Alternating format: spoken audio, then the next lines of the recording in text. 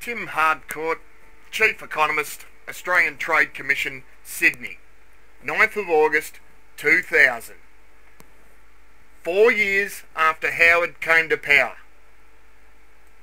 The collapse of the Thai baht in July 1997 ignited the Asia crisis that lasted for just over two years.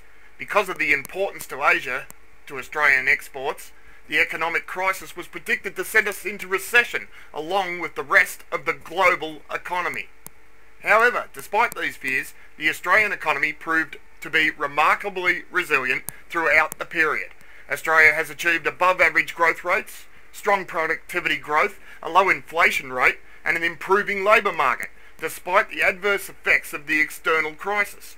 Australia, in the 1990s, has benefited from having undertaken several reforms in the 1980s, such as reform of the financial system, the floating of the exchange rate, and the internationalism of the Australian economy.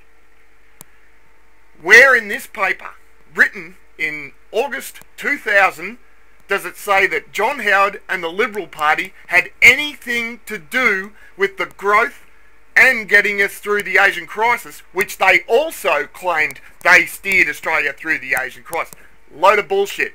Please, Liberals, get a grip on reality